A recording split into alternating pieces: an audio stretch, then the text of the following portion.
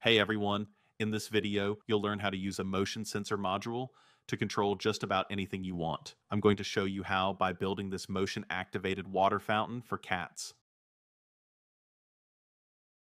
Let's start by understanding how a motion sensor works. Essentially, it detects changes in infrared light reflected off objects.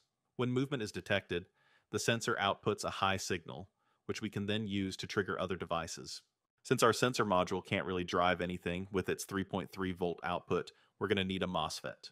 I will use this one just because that's the only one I had. It's a total overkill and will make my project unnecessarily complicated. Now that we've learned about two of the most important components for this project, we can wire them up on a breadboard and test how it works. Nice. The LED turns on when the motion is sensed. Now I just hook up my pump and that's it, right? When I mm-hmm. switched the LED with the water pump, it was not working anymore. Remember how I said that my MOSFET will make problems later? This was it. The 3.3 volt output was not enough to fully switch on my MOSFET with the bigger load, so I had to add more components to step up the voltage at the gate. After I did that, everything was working as expected. Now I just had to somehow solder all the components together. Please don't do what I did and just get a perf board. They are not expensive.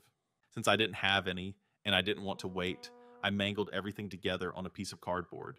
In order to hide it, I designed this housing, but you can use whatever you have. And that's it for my project. I hope that you learned something new or got inspired to make something yourself. Let me know your thoughts in the comments.